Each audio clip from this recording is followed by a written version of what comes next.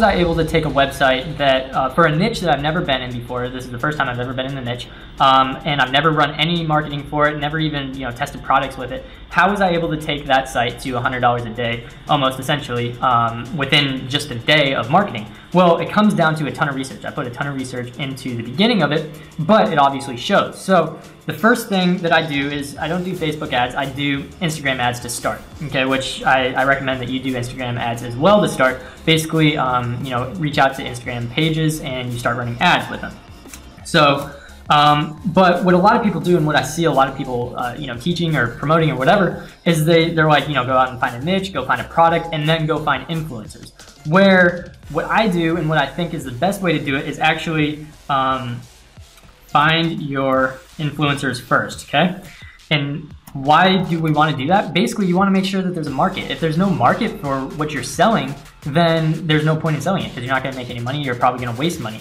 Plus, once you have the influencers, they're going to tell you the niche and they're going to tell you the product. I'll tell you how in just a minute. Um, but you want to find your influencers first. Now, how do we find these influencers? We, what's popular on on Instagram? Okay. Uh, there we go. Okay, what, what are popular things that are on Instagram? You got, you know, you, I'm sure you're on Instagram like all the time. Um, things like weight loss, things like fitness, motivation, entrepreneurial, dogs and cats, animals of all different kinds, um, travel, beautiful photos, beautiful places, all kind, all these are very popular niches. Um, and you're not looking for a niche necessarily, you're just looking for influencers, something that you're interested in. Ideally, you want to be interested in it or else you're just going to get bored real quick.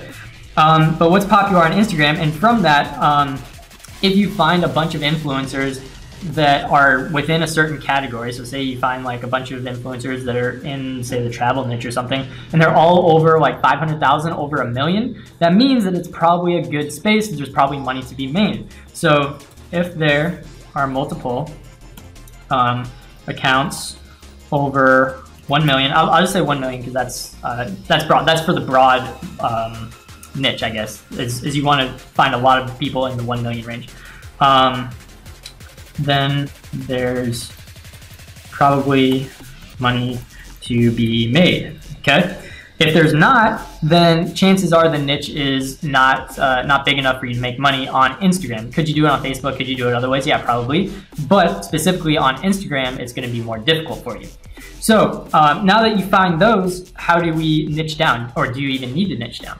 Um, in the case of my website, I actually didn't niche down. I actually went with a broad niche and it, and it worked out fine. But what you could do is actually, uh, you know, niche down and, and find out like instead of doing fitness pages, you do yoga pages or you do vegan pages or you do CrossFit pages. And you do, and uh, from there, what you can actually start doing is um, once you find your influencers, now you have your niche. So the niche is just natural. Um, it just is a natural fit depending on what the influencers are, right? But once you have your influencers, start looking through all their pages um, for common themes. Okay, what do I mean by this? Most of the time, people have influencer pages for the sole purpose of making money, right? How do they make money? They make money by doing sponsored posts, which you're actually going to want to be doing. Um, basically, somebody pays them to uh, post on their page. So that being said, they're going to have naturally have sponsored posts on their pages. So we can start to look through a bunch of these uh, influencer pages and start to see what's actually being promoted, essentially um, like taking other people's ideas for what's going on. So um, once we once we look through, I would say um, look through, and, and this is, I don't want to put a number to it because it's, it's not a number, but look through at least 50, okay, ideally more, but at least 50 pages in the general niche. Um, and to find uh, common products, okay? So what you're gonna find is after you look at about 50 pages, 75 pages, is you're gonna start to see that certain products are being promoted maybe two, three, five times. And if you see products being promoted on the same page or on different pages multiple times and uh, you know they're doing well, they're getting good engagement, chances are they're making money. So from there, once you find that the product is actually making money through seeing that it's on multiple pages, we move on to step number three, which is uh, find the product on AliExpress, okay? And basically all you have to do is, uh, you know, say it's like a cat bracelet or something, You just type in cat bracelet and sort by orders. A lot of times you'll find it at the top of that order list or you can scroll through. Another thing you can do is actually go to whoever's promoting the website, go to um, go to their, or promoting on the page, go to their website, which is usually in the link in their bio. And uh, if you pull it up on your desktop, you can do a right click and search Google by image, and you can usually find, um, you know, some AliExpress listings through doing that as well. So once we find the uh, product on AliExpress, um, now it's time to build a website, okay?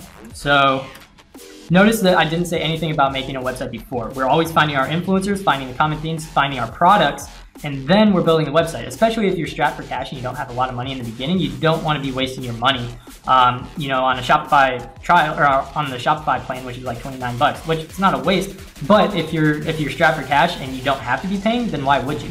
Um, so start your Shopify trial which, uh, by the way, if you guys want to get started, I do have a, uh, a link to the free Shopify 14-day free trial uh, that you can go ahead and uh, you know and get in on. I have a link in the description below that you can check out. But basically, you're going to start your Shopify trial and you're going to build out your website. Super simple. Just use, um, you can honestly just use the, the default theme. That's what I did. Uh, you don't have to go crazy with logos. Don't go crazy with colors. Literally, guys, you can probably build this site in a matter, um, if you're brand new, never built a site before, you could probably build it in like 12 hours total. Um, you know, split up obviously, unless you want to go long haul, just like freaking 12 hours straight. But it shouldn't take you a whole lot of time. So start your Shopify trial, import the winning product.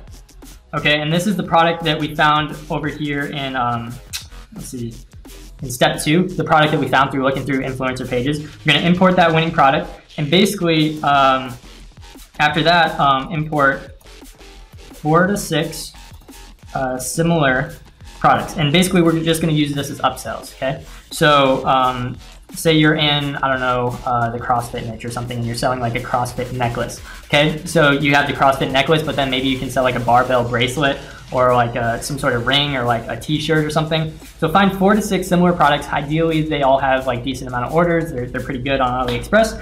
And we're gonna import those using Oberlo, um, which you also do for the main product import all those in using Oberlo, and you're, you're good. Basically, you're gonna now have like five to maximum 10 products on your website. Now that we have that, we already have our influencer list here that we did in step one. We already know. Um, we can actually, if you didn't already in step one, uh, reach out to the influencers we found in step one and ask for rates for a featured uh, post. Okay, and ideally you're going to be wanting to reach out to the influencers that have um, ideally um, under 300k followers.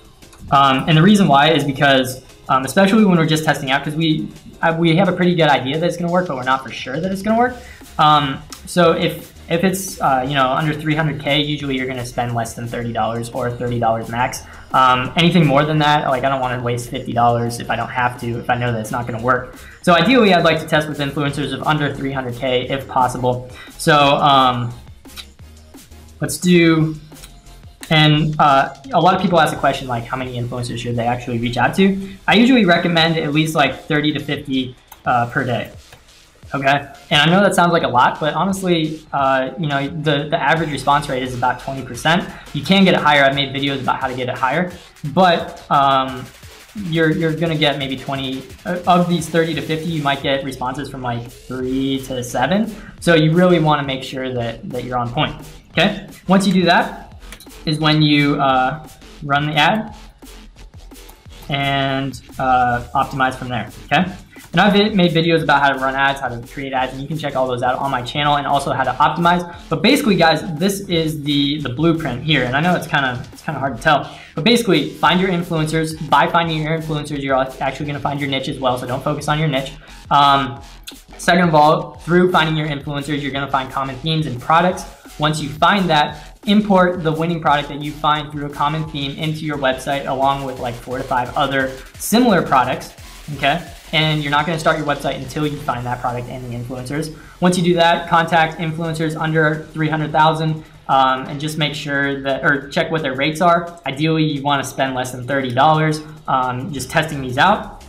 Um, and yeah, then you just run the ad, which I've done videos on. You can check them out on my channel and you should be good to go, guys. Um, it's, it's actually pretty simple. Um, this is like a sort of simplified version, but it's actually kind of this easy. It's, it's not really difficult as long as you put in the research on the front end. And honestly, just use your competitors' websites as examples so that you can start to get uh, sort of an idea of what's actually